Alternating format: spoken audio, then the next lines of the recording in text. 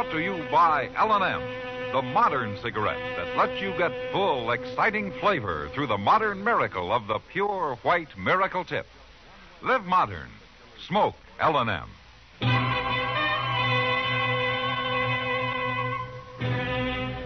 Around Dodge City and in the territory on West, there's just one way to handle the killers and the spoilers, and that's with a U.S. Marshal and the smell of gun smoke.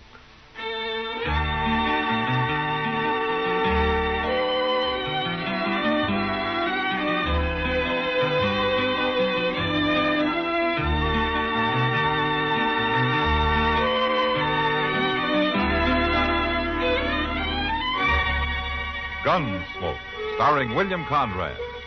The story of the violence that moved west with young America. And the story of a man who moved with it. I'm that man. Matt Dillon, United States Marshal. The first man they look for and the last they want to meet. It's a chancy job, and it makes a man watchful and a little lonely.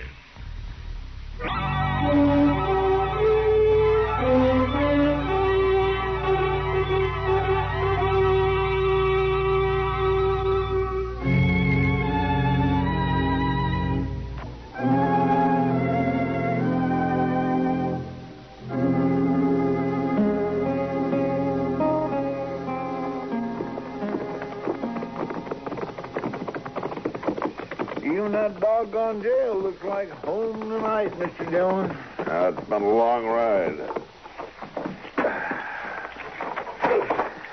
Get a fire going and some coffee started, will you, Chester? I'll unsaddle the horses. Yes, sir. What? It's Tover, Matt Van Tover. Oh, hello, Van. I didn't recognize you there in the dark. I've been waiting for you, Matt. I wanted to talk to you. Well, Alone, if it's all the same. No offense, Chester. You owe none took, Mr. Tover. I was just going on in and make some coffee anyhow. I'll make us all some while I'm at it. why didn't you wait inside, Van? The office is open. Did for a while, but just couldn't stay set. And I guess you have got something on your mind. Matt, you know a lot about me. You know I tore around when I was younger before I met Edna and we got married and the kid come. Yep, like most men, Van. No, that that ain't what I mean exactly. I mean I never quite got on the wrong side of the law, but I pretty near did a few times. Well, Well, I was mighty handy with a gun, Matt, and I was too quick to use one a lot of times. Sure, it was always self-defense, but what are you getting at, Van? Matt, you still got that gun I gave you two years ago when the kid was born. Yeah, it's in the office in the safe. You got any need for it? No? I want it back. I better get this other saddle off. No, no, Matt, wait. I can go buy another gun. It's just that I, I'm used to that one. I carried it for years. And I got to have one tonight. You haven't worn a gun for two years now, Van. You told me when you gave it to me you were through with gunfighting. I didn't ask for this. For the kid's sake and Edna's. So you told me. That's true, Matt. You said you only had one enemy in the world and you hadn't heard of him for years. What's the matter? Have you gone out and made yourself a new one? No. Well, it's the same one, huh? He's caught up with you? No, it was 12 years ago. Clear down in Durango. Fight over a girl, nobody. She didn't even count. I just fought easy in them days, was all. Yeah, sure. This fella drawed on me, and I put a bullet through his leg. He was still laid up with it when I rode out of town. And he swore he'd find me and kill me. I didn't pay it much mind. We all talk big when we're young, you know. I know. He rode into Dodge today. He's been asking for me. Uh huh. What's his name? Largo Greeland. He's a big fella. He's built like a bull. Always wears two guns, and he can shoot with either hand. Van, does your shoulder still bother you, son? What's that got to do with it? Look, you might as well have given me that gun four years ago when that horse fell and rolled on you. Now, you get mixed up in something like this with that bad shoulder, and you'll be dead before you even get your gun clear of the leather. You must be out of your head. You think I want to meet Largo? You sure act like it. He's come after me. Twelve years he's been looking. That's a lot of hate, Matt. And if I don't call him here in town, he'll come on out to the ranch. I got Edna and the kid to think of. All right, then think of him. Stay out of this and leave it to me. You think I wouldn't like to? Matt, I'm scared. I know what I'm up against, and I'm scared to death. Then get out of town. Stay clear of him and let me handle it. It's not your fight, Matt. It might be. Well, ain't no use arguing about it. If it's all right with you, I'll take my gun and not bother you no more. Why don't you use your head, Van? You haven't got a chance. I want the gun, Matt. I want it now. All right. Come on.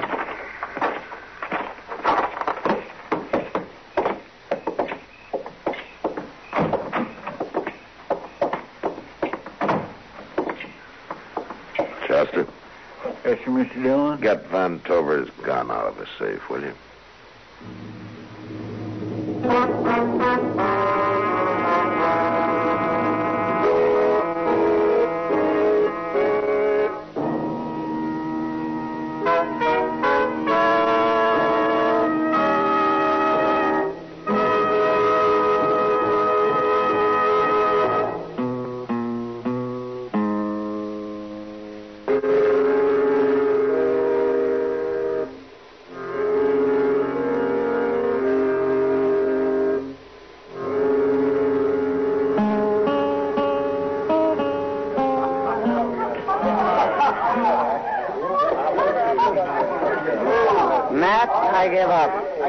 Figure it out.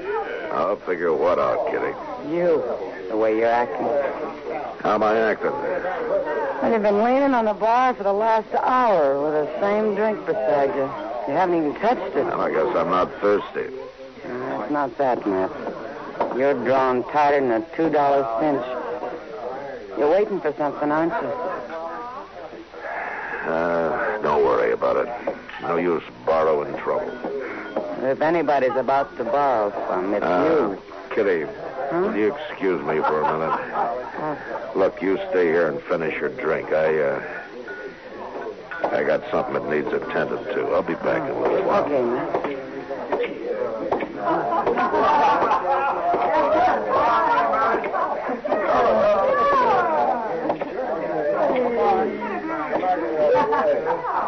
Your name Largo Greeland?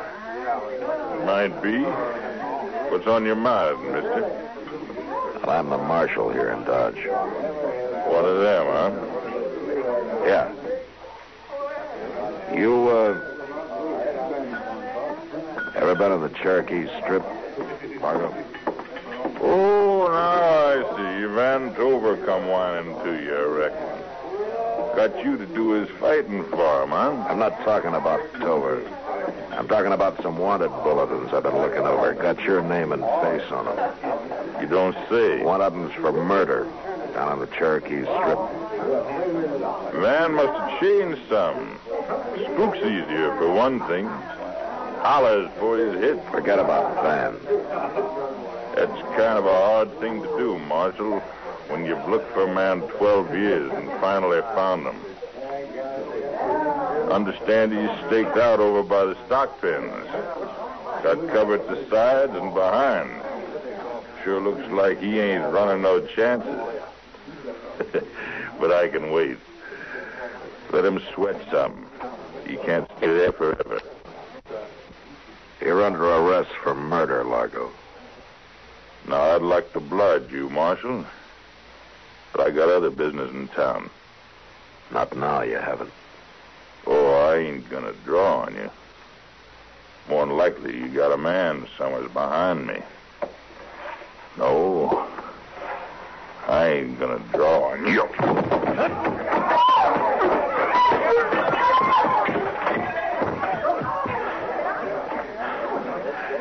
I'm sorry, Largo, but I've had that kicking trick tried on me before. Now get up on your feet. Come on, mister. We're going to jail.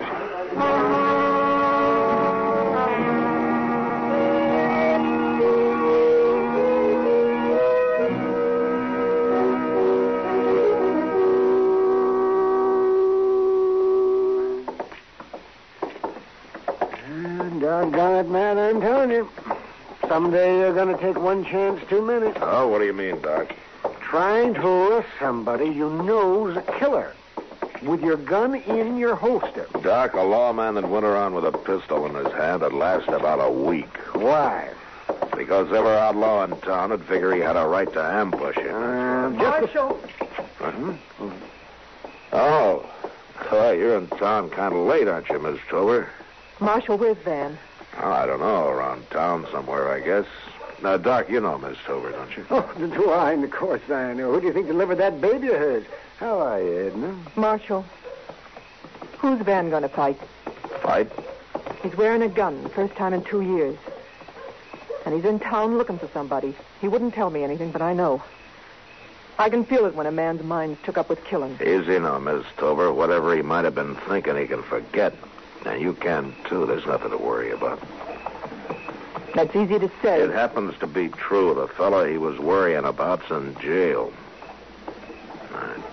I- I guess Van doesn't know it yet. Are you telling me the truth, Marshal? Yes, I am. Now, why don't you get yourself back out to the ranch? That husband of yours is going to be tired and hungry when he finally rides in tonight. You're sure this man's in jail, Marshal? Yeah, he's there, all right. Well, of course he's there. Now, you head for home, young lady, before you really give Van something to worry about. Gallivanting around alone this time of night.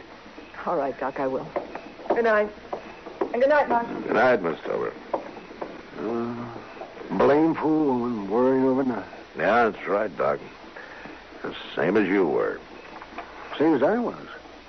Oh, oh, you mean about you taking chances and all. and- Oh, well, that's different now. Mr. Dillon? Ah, that Chester. He can find more reasons to hoop and holler Dillon. about. Yeah, what's the matter, Chester?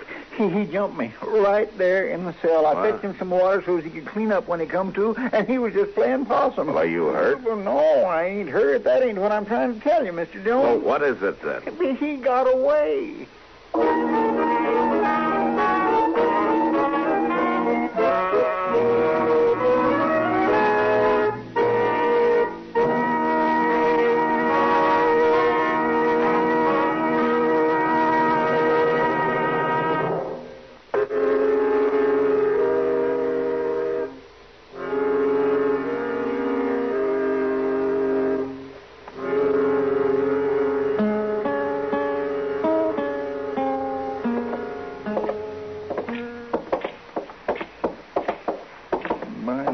My he sure didn't waste no time making himself scarce, Mr. Dillon. No, he sure didn't.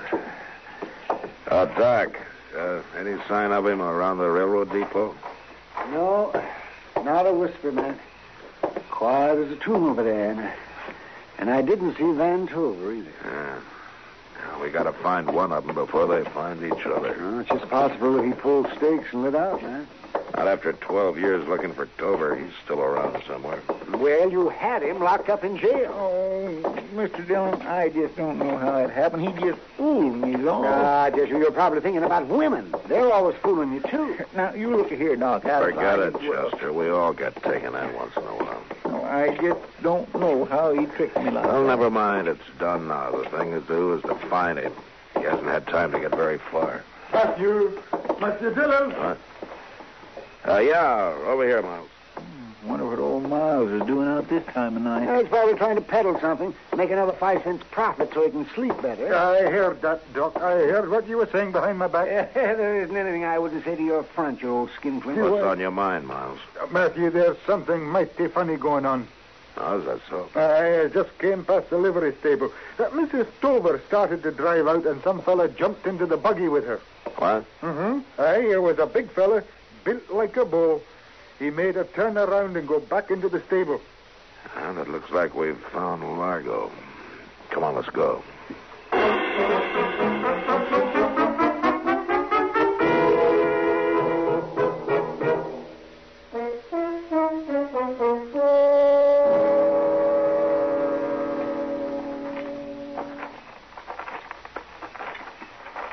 Ain't no sign of life, Mr. Dillon. There's no reason for him to advertise. Well, he might have left. It's been five minutes since I saw him. If you saw them at all, you've probably been nipping at that Scotch whiskey of yours. One of these days, Doc, you'll go too far. Look up. Well, I, I guess he ain't left yet after all. Largo! Come on out of there with your hands up. Me and the lady's too comfortable, Marshal. Why don't you come and join us? Let her come out alone and you won't get hurt. I don't figure to get hurt. Not while she's with me. Matt, what's going on? You got Largo cornered in there. I heard a shot. Go find her husband, Marshal. Tell him if he hurries, she might still be breathing. Marshal, no. That, that's Edna. Don't let that Largo's go. got Edna in there. Uh, Gert, Wait a minute, man. It won't help her any to walk out there and get yourself killed. there's no use arguing, Matt. No, I guess you're right. There isn't any use arguing. Doc, take care of him, will you? Chester, get his gun. And see if you can hold Largo's attention. Fire a couple of shots. I'm going to try to slip in the back. Okay, Mr. Dillon. Hey, let me have his gun, Doc. Uh, Largo, you ain't got a chance. Throw your gun out and walk out of there with your hands up for me, and Mr. Dillon comes in after you. Come on if you feel lucky. You think we don't mean business, Largo? That convince you any? You better be careful, boys. You're scaring the lady. Me and Mr. Dillon will give you just two minutes before we rush you. you know where to find me. Come on, I'll pick you off one at a time. right after I shoot the lady, of course. Please, let me go. I don't know who you are, but Shut up before you get me mad. Don't move, Largo. Marshal. Well, sneaked in the back way, like any ordinary polecat. Don't turn around, Largo. Just drop that gun. Sorry, Marshal. A man waits 12 years for something. It ain't easy for him to just give up and quit. You had all the chance you're going to get, Largo. You move that gun one inch toward Miss Tobin, it's the last move you'll ever make. Has to be a last move sometime, Marshal. So I reckon it might as well be now.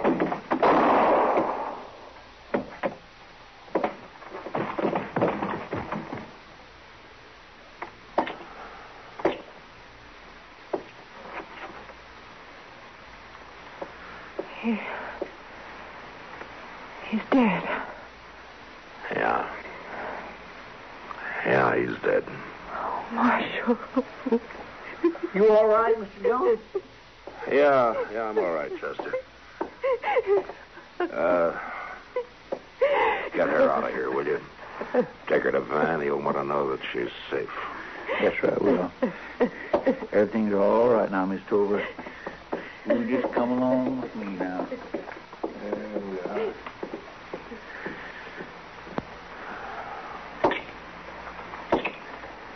Hey, Doc. Yes, Matt? Well, looks like I've done my job. Now it's time for you to take over.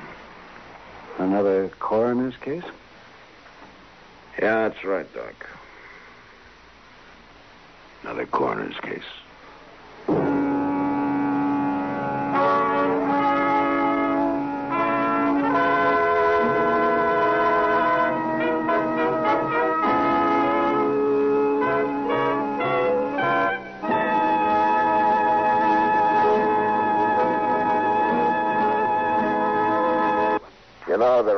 Kinds of horses on the frontier.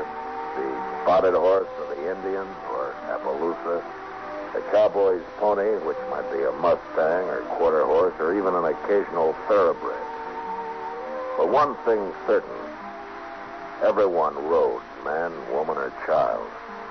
And next week, Dodge watches an Indian girl ride into town, half dead in her saddle. Gunsmoke. Produced and directed by Norman Macdonnell, stars William Conrad as Matt Dillon, U.S. Marshal. The story was specially written for Gunsmoke by Les Crutchfield, with editorial supervision by John Meston. The music was composed and conducted by Rex Koury. Sound patterns by Tom Hanley and Bill James. Featured in the cast were Harry Bartell, Gene Bates, Barney Phillips, and Ben Wright. Parley Baer is Chester, Howard McNear is Doc, and Georgia Ellis is Kitty. Our thanks to TV Radio Mirror and to you, our listening audience, for selecting Gunsmoke as the best Western program on radio for the third consecutive year. We are also pleased and proud to announce that William Conrad was selected as the best Western star. The results of this annual poll appear in the current issue of TV Radio Mirror. Join us again next week for another story on Gunsmoke.